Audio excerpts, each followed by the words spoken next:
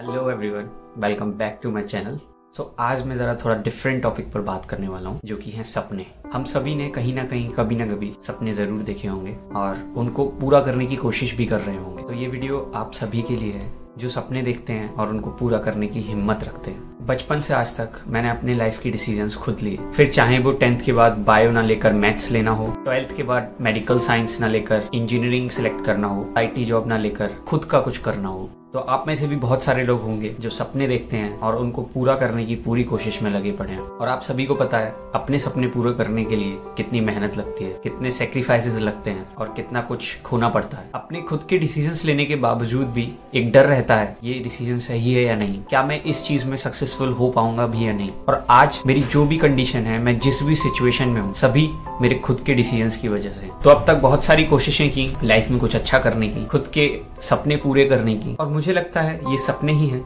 जो हमें रुकने नहीं देते, रात को चैन से सोने नहीं देते। कुछ बड़ा करने पर मजबूर करते हैं, कुछ अच्छा करने पर मजबूर करते हैं। सपने तो आज ना कल पूरे होने ही हैं, लेकिन इन सपनों का पीछा करते करते जो हम इंसान बनते हैं, वो मेरे हिसाब से शायद बहुत ज़रूरी है। अपनी मंजिल को पाने के लिए जो सफ़र हम तय करते हैं, उस सफ़र पर चलकर जो हम सीखते हैं, इस सफ़र में बहुत सारे कांटे भी आते हैं, बहुत सारे पत्थर भी आते हैं। उनसे गिर कर उनसे लड़कर जितना मज़बूत हम बन पाते हैं, वो शायद बिना सपनों के नहीं बन पाएँगे। और इन्हीं सपनों की तलाश में अपने आप को बेहतर से बेहतरीन बनाने का सफ़र ही ज़िंदगी है। और इन्हीं सपनों को पाने के लिए मैंने भी अपनों के खिलाफ कुछ डिसीजंस लिए। शायद उन्हीं डिसीजंस की वजह से आज मेरी कोई वैल्यू ना हो, क्योंकि मैं अभी तक कुछ अचीव नहीं कर पाया। जो सपने मैंने देखे थे, उनको मैं पा नहीं सका अभी तक। और मुझे नहीं लगता कि अपने लिए जीना, अपनी खुशियों के लिए जीना, अपने सपनों के लिए जीना कुछ गलत है। अगर सपने बड़े हैं तो समय लगता है। उन्हीं की तलाश में ये अपना एक और कदम है। और जितने बड़े सपने होते हैं उतने ही बड़े सेक्रीफाइसेस भी होते हैं। और इन बड़े सपनों को पाने के लिए उनके लायक भी बनना होता है। तो अभी जो सफ़र शुरू हो रहा है, खुद को उस लायक बनाने के लिए हो रहा है। शायद मैं वो सब चीज़ें अभी तक इसलिए अचीव नहीं कर पाया क्योंकि मैं उनके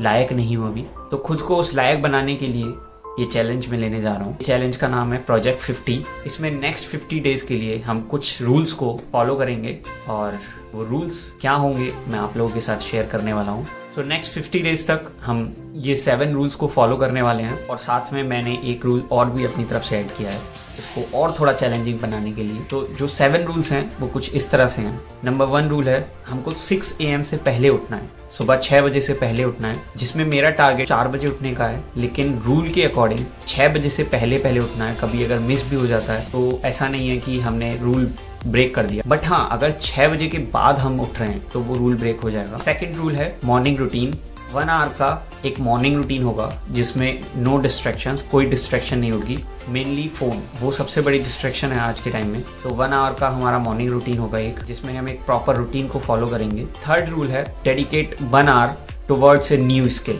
तो हम किसी भी स्किल के लिए एक घंटा उस पर काम करेंगे, एक घंटा पूरे दिन में निकालेंगे और एक कोई भी स्किल को हम सीखेंगे। कुछ भी स्किल हो सकती है वो वो ट्रेडिंग हो सकती है इंग्लिश स्पीकिंग हो सकती है डांसिंग हो सकती है स्विमिंग हो सकती है सिंगिंग हो सकती है। कोई भी स्किल जो भी आपको पसंद हो। रूल नंबर फोर है रीड टेन पेजेस डेली तो हम रीडिंग करेंगे टेन पेजेस की एटलीस्ट और वो जो टेन पेजेस होंगे, वो किसी नॉन फिक्शनल बुक के होंगे। कोई भी फिक्शनल बुक नहीं होने चाहिए। हम कोई भी एजुकेशनल बुक पढ़ सकते हैं, कोई भी बिज़नेस बुक पढ़ सकते हैं, कोई सेल्फ इंप्रूवमेंट बुक पढ़ सकते हैं। रूल नंबर फाइव है exercise for one hour daily तो हम डेली एक घंटे एक्सरसाइज को देंगे, जिसमें आपका जिम हो सकता है स्विमिंग हो सकती है डांसिंग हो सकती है रनिंग हो सकती है। तो डिपेंड करता है आप क्या एक्टिविटी कर रहे हैं। बट एक घंटे का मूवमेंट अच्छे से होना चाहिए। बेसिकली आपकी बॉडी में से अच्छा खासा स्वेट बाहर निकलना चाहिए। तो जो टॉक्सिन्स हैं, वो बाहर निकलेंगे। आपकी बॉडी मूव कर पाएगी एनर्जेटिक फील कर पाएगी, और आप हेल्दियर फील कर पाएँगे। रूल नंबर सिक्स है ईट हेल्दी तो हमें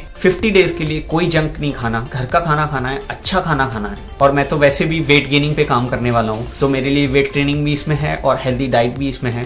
डाइट और ट्रेनिंग में सब कुछ शेयर करूँगा डिटेल में। सेवेंथ रूल जो होगा, वो होगा ट्रैक योर प्रोग्रेस जो भी आपकी प्रोग्रेस है डेली की, उसको ट्रैक करना है। ट्रैक किस तरह से कर सकते हैं हम? हम अपनी जर्नल बना सकते हैं, जिसमें हम डेली लिखेंगे अपने थॉट्स को। तो डेली हम कैसा फील कर रहे हैं, वो हम लिख सकते हैं। और एक डेली प्रोग्रेस की फ़ोटो लेनी है कि डेली आप कैसे दिख रहे हैं तो क्या प्रोग्रेस रह रही है। और मैं तो डेली ब्लॉगिंग करने वाला हूँ तो डेली वीडियोज़ आपको दिखेंगी। और ये मेरे लिए एक तरह से जर्नल का काम करेगा वीडियो फॉर्म में। मैं देख पाऊँगा फ़र्स्ट डे पे मैं कैसा था, और फिफ्टी डे पे मैं कैसा हूँ, अगर मैं कंप्लीट कर पाया इस चैलेंज को तो।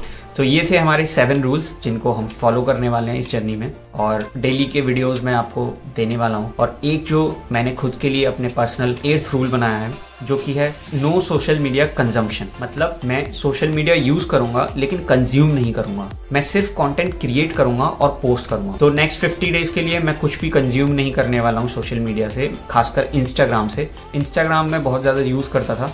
बट अभी देखना नहीं है, अभी बनाना है। मैं पोस्ट करूँगा, डालूँगा, जो भी मेरा कंटेंट मैं बना पाऊँगा, कोशिश करूँगा बनाने की। तो बेसिकली हम मूव करने वाले हैं कंजम्पशन से क्रिएशन पे। तो सोशल मीडिया को हम पॉजिटिवली यूज़ करेंगे अभी। ना ही मैं स्टोरीज देखूँगा, ना ही मैसेजेस देखूँगा, कुछ भी कंज्यूम नहीं करूँगा। तो ये मेरे एट चैलेंजेस थे। देखते हैं कैसे रहते हैं नेक्स्ट फिफ्टी डेज़ बस, जो सपने देखे हैं, उनको पूरा करने की कोशिश है।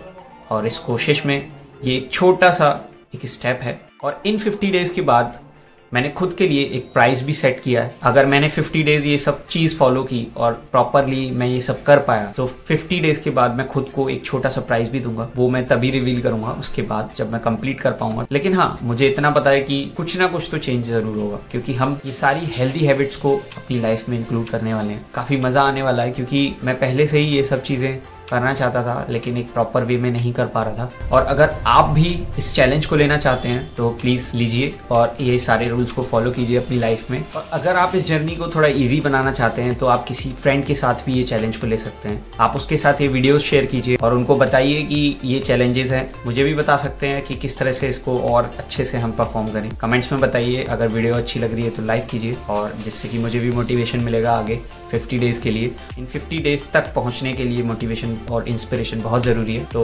वो आपके लाइक से ज़रूर मिलेगा। थोड़ा सा डर है, कर पाऊँगा या नहीं, क्योंकि अनाउंस कर दिया है। और इन सब एट रूल्स को फॉलो करने से भी ज़्यादा एक और चीज़ है, जो 50 डेज़ तक फॉलो कर पाना बहुत मुश्किल है, वो है शूट करना एडिट करना और पोस्ट करना, वो भी डेली तो पहले से ही ये सेवन टू एट रूल्स काफ़ी सारे हैं, और इनको फॉलो करने में ही सारी एनर्जी ना चली जाए, और उसके साथ साथ एडिट करना शूट करना, ये भी है। देखते हैं कैसे हो पाता है। ट्वेंटी फोर आवर्स को कैसे यूज़ करेंगे हम? बस बॉडी और माइंड साथ दे।